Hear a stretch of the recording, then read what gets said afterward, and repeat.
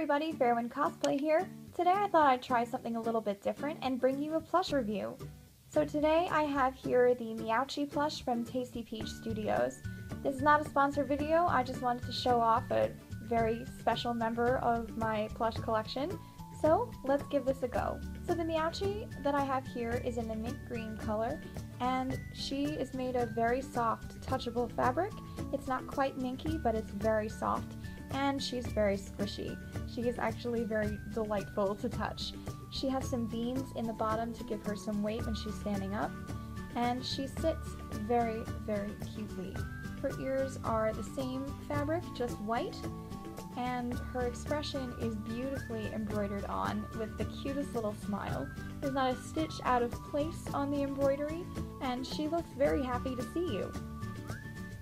So her limbs are teeny tiny little paws, and her tail is very similar, very short and stubby and very cute. All of her limbs move. Here's her tush tag with the Meowchi logo. I wish the camera would focus on this. There we go, Meowchi. And then here is her hang tag with some of the cute little Meowchi colors you can get. They come in a whole bunch of colors of the rainbow and even Halloween themed. So this little girl, I'd say, is probably about 8 inches long. I didn't measure her or anything, but she's bigger than the Nintendo Store Pokédoll plushies for sure, though she sits at the same height as many of them, so she fits in very well with my Pokemon collection where she currently sits. All of her seams are really nicely finished, if you're really picky, especially about plush faces, like I said. She's beautifully embroidered, and she's just a delight to look at and cuddle. So I hope you enjoyed my very quick slapdash plush review. I know I very much enjoy Tasty Peach Studios cute aesthetic, and I'll leave their link and information down below.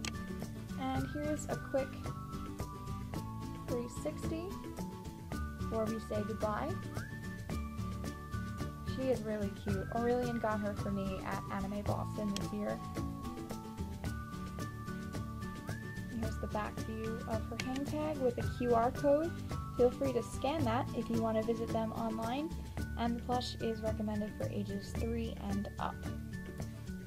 Alright, so that's it. Let me know in the comments below if you'd like to see more quick and dirty plush reviews.